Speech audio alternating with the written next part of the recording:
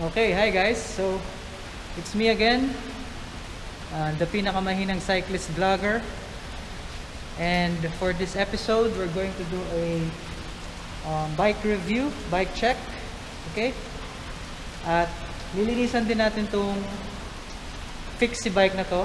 So, pinapabenta din sa atin yung fixie bike na to, okay? So, ayun. Um, and papakita ko sa inyo yung mga parts. So, shoutout lang. Just want to thank my Cycling Cup WCC Weekend Cycling Club and also this Road Tag PH wristband. So, napaka-helpful niya. And also, we're using um, Gram Stand PH stand for this bicycle. So, thank you Gram Stand. And Okay, so actually this bike pinapalinis sa akin at pinapabenta sa akin tong bike na to.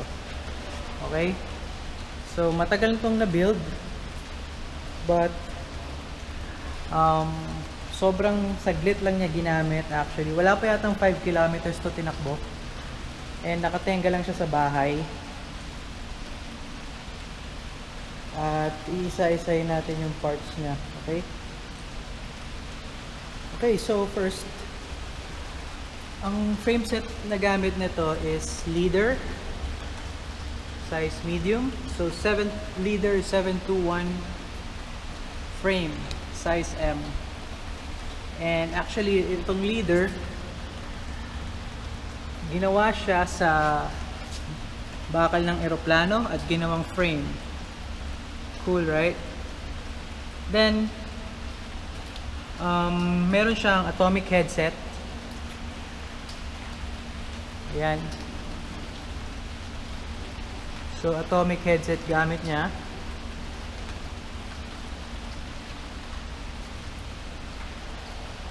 And seat clamp niya, leader. So, yung seat post niya medyo astig oh. So, Miche Primato Advance seat post ang gamit niya. So, maulan pala ngayon guys dito. So, yung mga nagra-ride, ingat kayo. Okay, let's go to the cockpit. So, PLT Pro ang stem niya, 100 meters, sorry, 100 mm. And Miche Primato Advanced Seat Post. Na kanina. And we're using leader bullhorn. Para terno sa frame. Leader bullhorn. And yung drivetrain niya.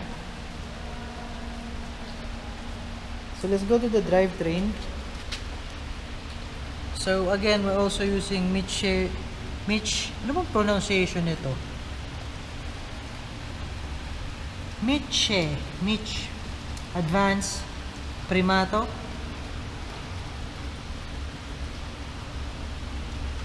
Forty-ninety and Izumi Black Gold Chain. So, yun yung gamit niya. So, sa wheel set naman,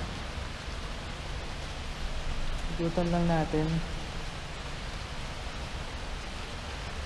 So sa wheel set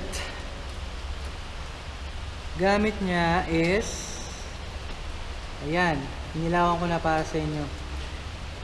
H plus Sun SL4 wheel set 32 holes and gumagamit siya ng Gorilla hubs. And bladed spokes. And tires niya is Panasonic Rib Ribmo. 28C so syempre ride safe. Nilagyan natin ng Shimano Sora na brakes, calipers and Dirt Harry brake lever. So, ayun. So, hindi pa namin alam kung magkano ibebenta to. So, pag may idea kayo, punas-punas lang tayo.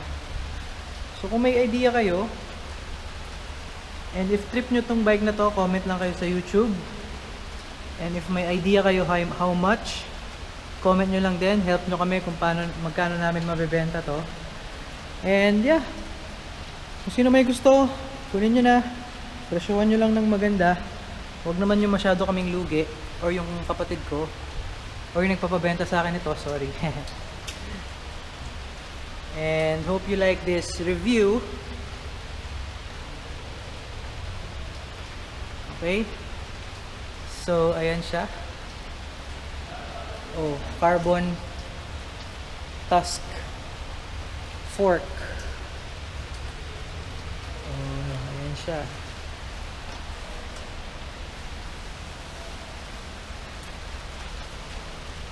check natin yung fork na carbon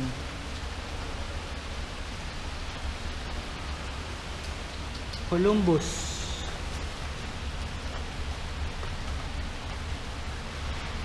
Columbus Tusk Fork Carbon So lilinis-linisan ko muna itong bike ko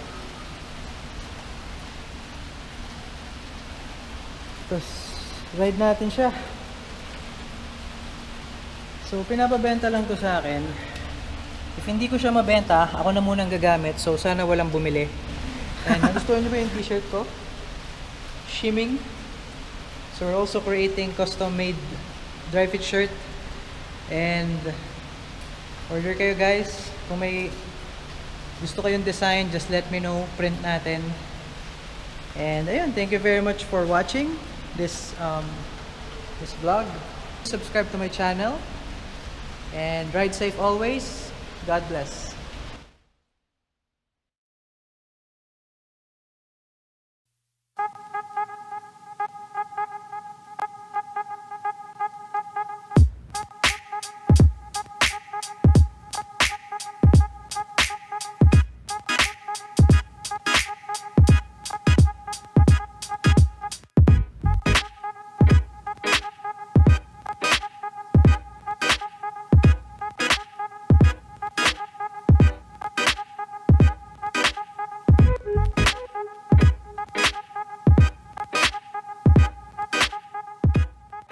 Plug ko nga rin pala yung Facebook group natin, Free Bike Parts PH.